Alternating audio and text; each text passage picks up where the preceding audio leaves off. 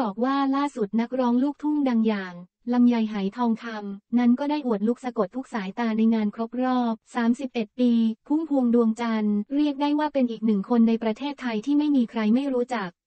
สำหรับราชินีวงการเพลงลูกทุ่งอย่าง พุ่มพวงดวงจันทร์ เป็นนักร้องเพลงลูกทุ่งเจ้าของฉายา ราชินีลูกทุ่ง ได้ชื่อว่ามีน้ำเสียงออดอ้อนหวานจำเนื้อร้องได้แม่นทั้งที่ไม่รู้หนังสือ และเป็นแม่แบบให้แก่นักร้องรุ่นหลัง และต้องบอกเลยว่ามาถึงแล้วกับงานครบรอบ 31 ปีการเสียชีวิตพุ่มพวงดวงจันทร์ในวันที่ 13 มิถุนายน 66 ซึ่งงานจัดระหว่างวันที่ 11 ถึง 17 มิถุนายน